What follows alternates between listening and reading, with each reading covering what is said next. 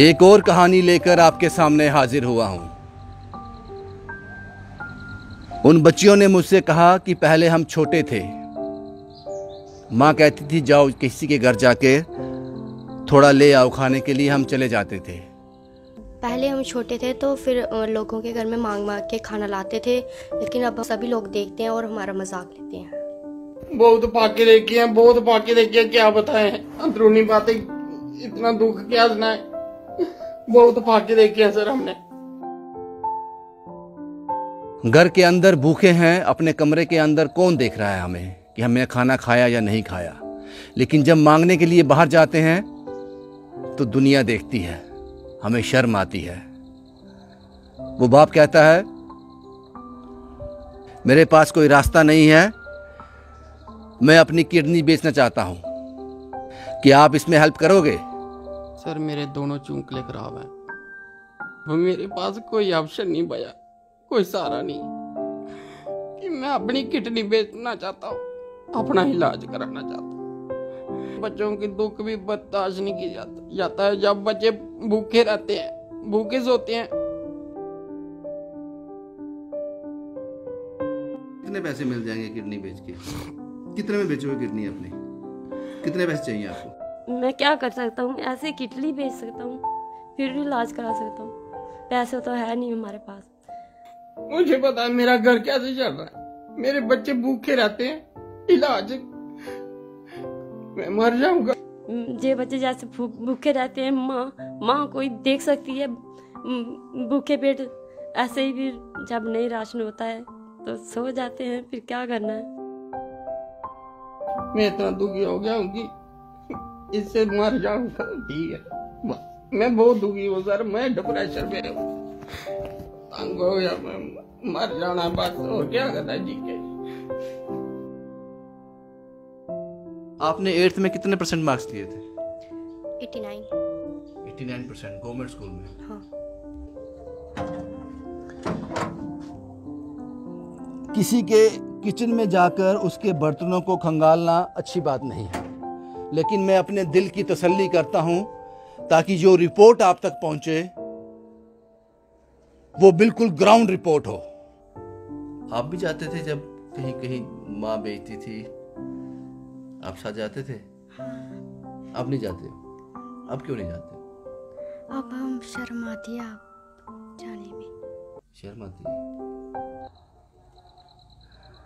इस वक्त मैं हूँ टाली मोड़ पट्टल रियासी में। वक्त लगा जम्मू से यहाँ पहुँचने में। लेकिन जिस मकसद के लिए आया हूँ, वो समझ आ जाएगा आपको। वो मकसद आपको समझ आ जाएगा। ये रशपाल चंद की फैमिली है। इस फैमिली में पाँच लोग हैं। तीन बच्चे और मियाँ बीबी। रशपाल साहब 2010 के बाद इस बेड पे हैं, लगभग 12 साल।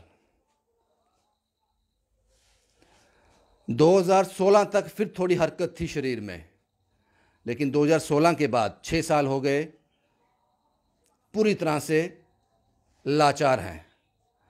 अब बच्चों की भूख बर्दाश्त नहीं होती। कुछ लोग आते हैं गाँव से, राशन दे जाते हैं कभी कभार लेकिन अब वक्त ऐसा आ गया है, कभी फाके भी रहना पड़ता है। रशपाल साहब ठीक हो जाएँगे, लेकिन उसके लिए कुछ करना पड़ेगा। आपका नाम रशपाल है। जी रशपाल चंद। क्या दिक्कत है रशपाल जी आपको? लेटे क्यों हो? सर मेरे दोनों चूंकले खराब हैं। चूंकले काम नहीं करते हैं। ये पूरा शरीर ही डैमेज है काम नहीं करता है। अब बारह साल हो गए हैं बेड पर ही। 2010 में मुझे स्किन प्रॉब्लम हुई थी। बहुत बड़े बड़े पानी वाले शाले हुए थे पूरे शरीर में। अभी भी मुँह के अंदर हैं जीभ में हैं दो तीन शाले तो उसका इलाज कराया डॉक्टरों ने मुझे दवाई चढ़ाई। 2010 से लेकर 16 तक दवाई चढ़ती रही। जैसे ही दवाई चढ़ाकर घर में आया तो उससे मुझे दवाई बीपी का अटैक हुआ।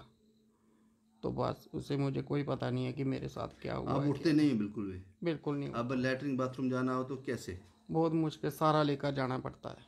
काम तो कोई नहीं कर पाओगे। नहीं। लेकिन घर का घर का खर्च कैसे चल रहा है? फिर कमाने वाला कोई नहीं है घर पे।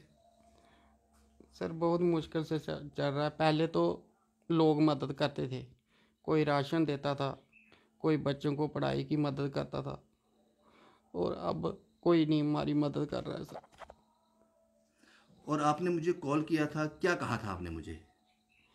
सर मैंने यही कहा था कि अब मेरे पास कोई ऑप्शन नहीं बचा कोई सहारा नहीं कि मैं अपनी किडनी बेचना चाहता हूँ अपना इलाज कराना चाहता हूँ। क्योंकि ये लास्ट मैंने सोच समझ के कि मेरा कोई सहारा नहीं है अब लास्ट ऑप्शन यही बचा था कि अब मुझे बचना है। किडनी बेचने से क्या होगा? क्यों कहा आपने किडनी बेचना है कि क्या कोई राशन की कमी है या क्या दिक्कत आई है आपको? सर, बहुत दिक्कतें हैं, सर। बच्चों को पाके लग रहे हैं। बच्चों को देखकर, पहले बच्चे छोटे छोटे थे तो मांगने में जाते थे। अब बच्चे बड़े हो गए हैं तो ये भी शर्म के मारे बाहर नहीं जाते हैं मांगने। तो सर, इसलिए ये बच्चों की दुख भी बर्दाश्त नहीं की जाता जाता है। जब बच्चे भूखे रहते हैं, भूखे सोते हैं इनकी पढ़ाई भी नहीं चल रही है। पढ़ाई में भी बच्चे पीछे रह रहे हैं और मेरा इलाज भी नहीं चल रहा है। और फिर मैंने सोच समझ के सर आपको कॉल किया। कितने पैसे मिल जाएँगे किडनी बेच के? कितने में बेचोगे किडनी अपनी? कितने पैसे चाहिए आपको? चलो सर अभी तो कोई पता नहीं है कितने पैसे के मैंने। ये खरीदता कौन है किडनी? ये किसने बताया आप किडनी बेचते भी हैं? सर मैंने यही सोचा था कि क्या करूँ लास्ट आप आप बेचने के लिए कुछ है नहीं। कुछ नहीं है मेरे पास। किडनी तो है। है? किडनी तो है और कोई नहीं है मेरे पास। बच्चों ने मजबूर कर दिया बच्चों की बारह साल में मैंने जो मेरे पास जेवर थी जेवर भी थे वो भी मैंने बेचकर अपने इस बीमारी के पीछे लगा दी अब कुछ नहीं है सर यही है। अब लास्ट यही बचा हुआ है। अगर आप ठीक हो जाओ खड़े हो जाओ तो फिर सब समस्याएँ हल हो जाएँगी। जी सर। अगर मैं ठीक हो जाऊँ सर अपने पाँव पे खड़ा हो जाऊँ मैं मेहनत करूँगा जैसे पहले मेहनत करता था अपने बच्चों को अच्छा पढ़ा लिखाऊँगा और अपने बच्चों को पेट भर कर खाना भी खिलाऊँगा। डॉक्टर क्या बोलता है आप ठीक हो सकते हो? हाँ जी सर। ठीक हो सकते हैं? ठीक हो सकता था। पैसे बहुत मांगे थे डॉक्टर ने पहले। हम्म। उन्होंने कोई बारह लाख रुपया मांगा था। कि आपका बारह लाख रुपया लगेगा। तो मेरे पास पैसे ही नहीं थे। ये किसने मांगे थे पैसे? कौन से अस्पताल ने?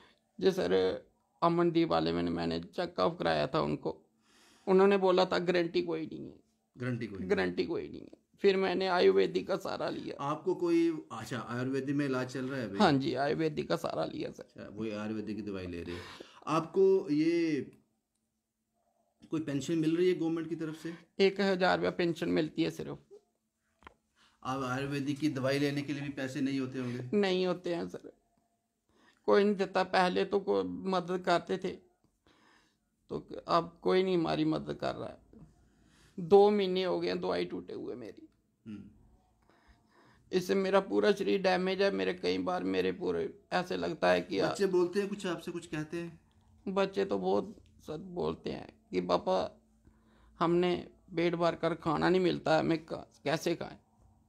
बच्चे पढ़ाई के लिए भी बोलते हैं पापा हमने पढ़ना है हमारी पढ़ाई के लिए हमें बहुत कुछ चाहिए होता। आप ठीक हो जाओगे रशपाल जी? आप ठीक हो जाओगे। ये इनका परिवार है रशपाल का। ये सबसे ये बड़ी बेटी है उनकी।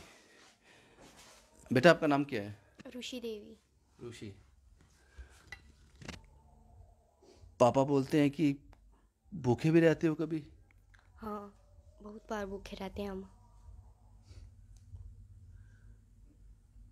पहले जाते थे? पापा बोलते हैं कि पहले मैं बेचता था तो चले जाते थे कहीं से कुछ लेने के लिए अब नहीं जाते हो?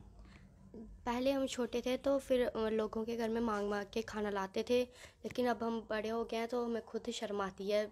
सभी लोग देखते हैं और हमारा मज़ाक लेते हैं।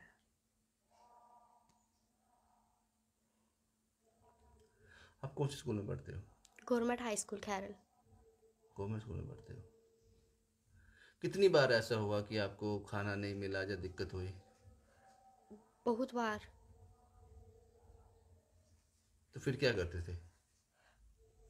फिर कुछ नहीं भूखे पेट रहते थे। आपका नाम क्या बेटा? अंजलि देवी। कौन सी क्लास में पढ़ते हो आप? सिक्स सिक्स में? कॉन्वेंट स्कूल में? जय सर। आप भी जाते थे जब कहीं कहीं माँ बेचती थी? आप साथ जाते थे? हाँ। अब नहीं जाते हो? अब क्यों नहीं जाते हो? अब हम शर्म आती है अब जाने में। शर्म आती है? जब भूख लगती है तो फिर क्या करते हो? फिर शर्म आती है नहीं जाना बस भूखे रह जाना हाँ।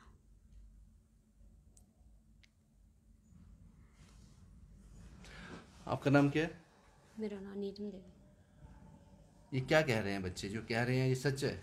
जी सच है। पहले छोटे छोटे थे जब जाते थे मैं भी जाती थी इनकी दवाई के पैसे इकट्ठे करने। अब ये बढ़िया हो गए हैं हमको भी शर्म आती है। ये भी शर्म करती हैं हम कैसे जाएँ? मम्मा हमको शर्म आती है कोई देख के कोई हमारा मज़ाक उठाता है। अभी राशन है अंदर? राशन कुछ राशन नहीं है। सुबह के भी ऐसे ही भूखे हैं वो सोई थी लड़की अभी जागी है। वो बोलती मम्मा मुझे भूख लगी है। ये म, मेरा घर वाला है, वो भी आठ साल हो गए इन्हें बेड पर। बड़ी मुश्किल से ऐसे ना इनकी दवाई है। वो बोलते हैं आपके घर वाले बोलते हैं कि मेरी किडनी बेच दो। हाँ जी बोल मजबूर एक दिन रो रहे थे। बात अच्छा क्या बोल रहे एक दिन रो रहे थे बोल रहे थे अब मैं क्या करूँ? हमारे पास कुछ तो है नहीं। मैं अपनी किटली बेच देती हूँ फिर हम मैं भी इसके साथ रहूँ लेकिन आप किटली बेचोगे फिर भी बीमार हूँ अभी भी बीमार हूँ। क्या कर, क्या कर रहे हो आप? बोलते हैं, मैं मैं तो मजबूर हूँ। मैं क्या कर सकता हूँ? ऐसे किटली बेच सकता हूँ, फिर भी इलाज करा सकता हूँ। पैसे तो है नहीं हमारे पास। बोल रहे जो जो हमारे पास जेवर भी थे ना, वो भी बेच दिए हमने। अब हमारे पास एक कोई दस रुपये नहीं, कोई है। और बड़ी मुश्किल से हमें घर भी चलाना बड़ी मुश्किल है। जब, जे बच्चे जे बच्चे जैसे भूखे रहते हैं, माँ माँ कोई देख सकती है भूखे पेट ऐसे ही भी जब नहीं राशन होता है तो सो जाते हैं फिर क्या करना है? आपको गवर्नमेंट से राशन नहीं मिलता है वो जो फ्री वाला अब बीपीएल हो एपीएल हो? हमारा है तो बीपीएल ये बीपीएल है पर वही राशनित होता है उसके साथ क्या बच्चे खाते नहीं है सिर्फ़ फुलके पकाते हैं। कितना मिलता है राशन आपको?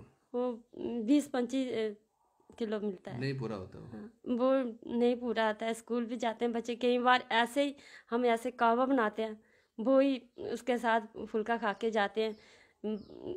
टीचर भी बोलते हैं ये इतनी अच्छी लड़कियाँ पढ़ने के लिए इनका अगर ये ऐसा वाला खाना खाएँगे तो क्या आप मैडम भी कई बार मैडम अपने खा रही होंगे खाना तो उधर से देती हैं।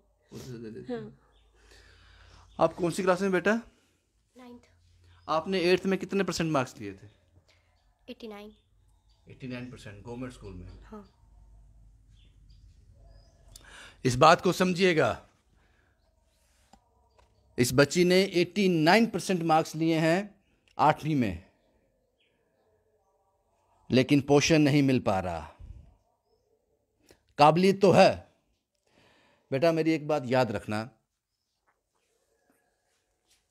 ये आपके मेहनत के दिन है स्ट्रगल के दिन है, अच्छे दिन नहीं है। क्या पता आपने 89 परसेंट लिए हैं एट्थ में गवर्नमेंट स्कूल में। क्या पता आने वाले वक्त में आप बड़ा ऑफिसर बन जाओ आप डिप्टी कमिश्नर बन जाओ। फिर आप बाकी बच्चों के लिए एक मिसाल बनोगे, उन लोगों के लिए मिसाल बनोगे कि हमने भी वो दिन देखे हैं, जब घर में खाना नहीं था। हिम्मत नहीं हारना, पढ़ाई को कभी भी लाइटली नहीं लेना। पढ़ाई के लिए कोई कॉम्प्रोमाइज़ नहीं करना। मेरी बात याद रखना। अच्छे से मेहनत करके पढ़ना। क्या पता कल को आप ऑफिसर बन जाओ। बहुत बड़े ऑफिसर बन जाओ। है ना? हम पढ़ सकते हैं अच्छे मार्क्स भी ले सकते हैं लेकिन हमारे पास वो फैसिलिटी नहीं है पढ़ने की। आप पढ़ जाओगे फिर। 89 परसेंट मार्क्स लिए ना अपने एट में। भूखे रह के लिए ना। ले लिए ना। हाँ। हिम्मत नहीं हारना। हिम्मत नहीं हारना। आपके बच्चे कल को बहुत तरक्की करेगी ये बेटी आपकी। 89 परसेंट मार्क्स लेने एट्थ में वो भी भूखे पेट पढ़ के। हाँ जी सर जी इसने एक स्कॉलरशिप वाला पेपर भी पास किया है। एक अच्छा। पेपर और करना है उसकी किताब नहीं मिल रही है। वो ऐसे सोच रही है कौन सी किताब है वो नहीं मिल रही है वो किताब है कोई फिट इंडिया कोई मूवमेंट अक्यूज प्रोग्राम कौन सी किताब है बेटा? क्विज प्रोग्राम है फिट इंडिया मूवमेंट अच्छा वहाँ स्कॉलरशिप कहाँ से मिला आपको? स्कॉलरशिप गवर्नमेंट की तरफ़ से बोल रहे थे कि पेपर पास करोगे तो स्कॉलरशिप मिलेगा पढ़ाई में। तो पेपर पास हो गया हो हाँ। तो ये किताब चाहिए आपको अब? हाँ। क्या नाम बताया आपने इसका? Fit India movement quiz programme ठीक है मिल जाएगी आपको ये। मिल जाएगी ये किताब। तो ये किताब खरीदी क्यों नहीं? सर पैसे नहीं थे कहाँ से खरीदनी थी? पैसे नहीं थे। एक बार फिर आपको बता दूँ मैं टाली मोड़ टाली मोड़ रियासी में हूँ मैं। और इनका ये किचन है। ये किचन भी मैं आपको दिखा देता हूँ, राशन नहीं है इनके पास जनाब। और मुझे पता है कि आने वाले वक्त में इनके पास राशन की कमी नहीं होगी। नहीं होगी। किसी के किचन में जाकर उसके बर्तनों को खंगालना अच्छी बात नहीं है। लेकिन मैं अपने दिल की तसल्ली करता हूँ ताकि जो रिपोर्ट आप तक पहुँचे वो बिल्कुल ग्राउंड रिपोर्ट हो। और अशपाल के पास जितना मकान बना हुआ है, इसके अलावा कोई जगह नहीं है। कोई और लैंड नहीं है। वो कहता है कि अगर मैं ठीक हो जाऊँगा, मुझे किसी चीज़ की ज़रूरत नहीं। बस यही कहानी थी जनाब।